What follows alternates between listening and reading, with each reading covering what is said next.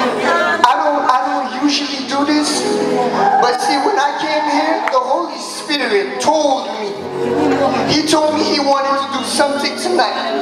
And there's people, there's people that are hungry for God. You're so hungry for God, you don't know what to do anymore. And God has come, Russia, Araba, Bantoro,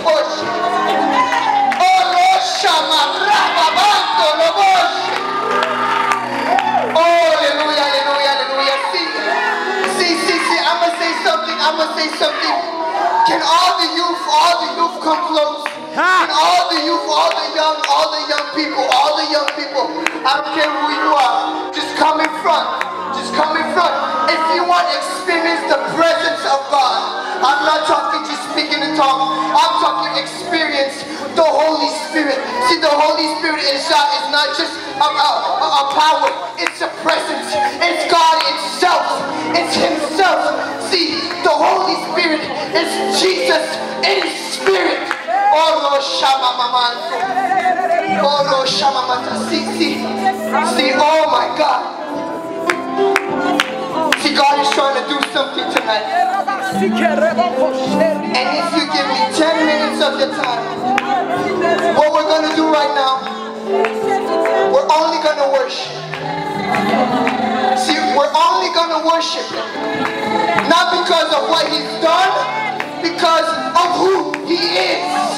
Hallelujah. This is what we're going to do. Oh. Oh, oh my God, oh my God, oh my God, oh my God. Oh my God, oh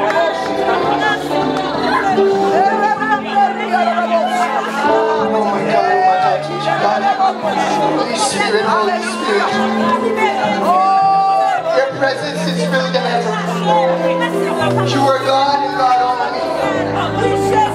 And Holy Spirit, as we are hungry for your presence,